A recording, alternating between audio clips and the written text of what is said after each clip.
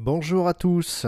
Aujourd'hui, je vais vous présenter les prophéties de Marthe Robin, ici en photo, et vous donner quelques conseils à la fin de cette vidéo.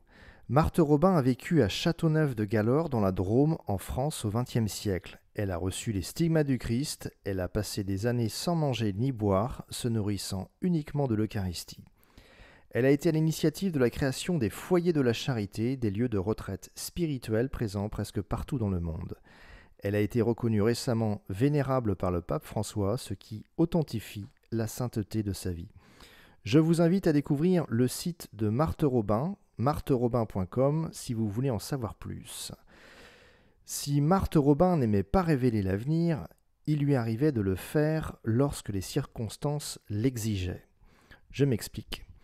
Par exemple, Marthe Robin avait demandé à un évêque de prévenir le gouvernement de 1940 de ne pas envoyer l'armée française en Belgique, ce qui s'est pourtant passé et c'est à cause de cette erreur stratégique que l'armée allemande a encerclé puis vaincu l'armée française. Concernant l'avenir de la France, voici ce que Marthe Robin a dit au père Finet en 1936.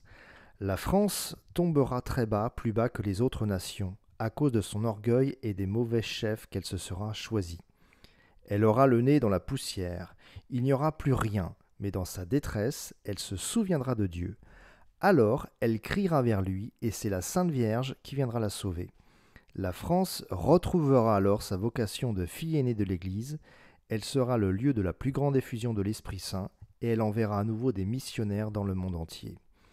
Deuxième prophétie rapportée cette fois-ci par Philippe, un habitué du foyer de charité de Châteauneuf de Galore. J'ai rencontré personnellement Marthe trois fois, et j'ai entendu de mes propres oreilles le père Finet dire Marthe Robin prophétise qu'il va y avoir une faillite économique, et qu'ensuite il y aura la grande Pentecôte d'amour, et que l'ensemble des chrétiens vivront alors en communauté.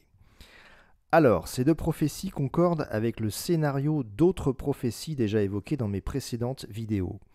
La France devrait connaître un chaos sans précédent, mais elle retrouvera sa vocation chrétienne de fille aînée de l'Église.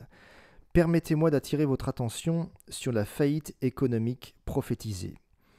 Aujourd'hui, la guerre en Ukraine s'enlise, les tensions entre l'OTAN et la Russie se dégradent dangereusement.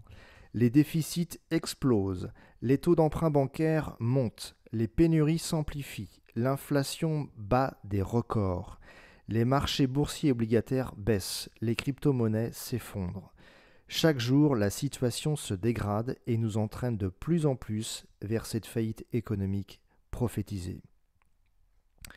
Rajoutons à cela la valeur des actions des banques qui s'est effondrée qui a été divisé par 10, voire par 50 pour certaines depuis 2007. Je vois mal comment les banques pourraient éviter la faillite en cas de crash boursier, vu leur manque de fonds propres, et donc engendrer par effet domino la ruine des épargnants et des entreprises. Rajoutons à cela le fait que des banques ont déjà fait faillite dans le monde depuis la crise des subprimes en 2008. Des centaines, je répète, des centaines. Une centaine rien qu'aux États-Unis en 2009. C'est pourquoi je vous conseille de sortir votre argent des banques avant qu'il ne soit trop tard. Gardez quelques milliers d'euros pour faire face à vos charges courantes sur trois mois, pas plus. Le reste, investissez-le dans des actifs tangibles que personne ne pourra vous voler ou faites un don à des œuvres charitables. Qui prête aux pauvres, prête à Dieu, et la Banque du Ciel ne fera jamais faillite. Elle. À bientôt.